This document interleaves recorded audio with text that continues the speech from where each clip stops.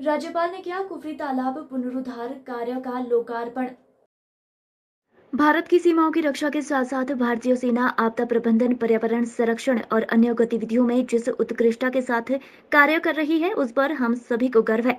राज्यपाल शिमला के निकट कुफरी में प्रादेशिक सेना के प्लेटिनम जयंती समारोह के अवसर पर सेना द्वारा किए गए कुफरी तालाब के पुनरुद्धार के लोकार्पण अवसर पर बोल रहे थे।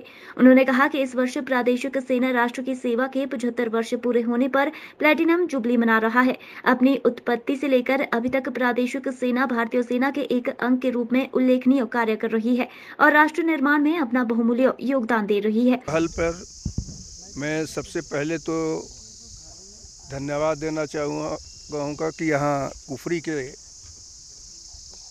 गाँव के लोगों को, उनके प्रधान को और सेना से जुड़े हुए लोगों को। जिस प्रकार से इस तालाब के नाम पर ही कुफरी गाँव का नाम पड़ गया। तो आज आ, मुझे लगता है कि एक महत्वपूर्ण कार्य के लिए मैं आया। आज इसका लोकार्पण हुआ है। गाँव सबको समर्पित किया गया है। इस नाते में सभी सेना के जवानों को भी इसके लिए बधाई देना चाहूँगा।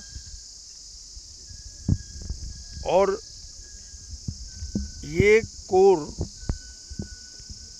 हिमाचल में वृक्षारोपण में लगा हुआ है। हिमाचल को और अधिक वृक्षों की आवश्यकता भी है। जिस प्रकार से पर्यावरण में परिवर्तन हुआ है, आज शिमला वो शिमला नहीं रह गया है। गर्मी वहाँ भी अब पड़ रही है। इस नाते आज बहुत आवश्यक है कि हम सभी लोगों को इस पर विचार किया जाए कि किस तरह से हम वृक्षों का संरक्षण करें और वृक्ष को लगाने का काम करें।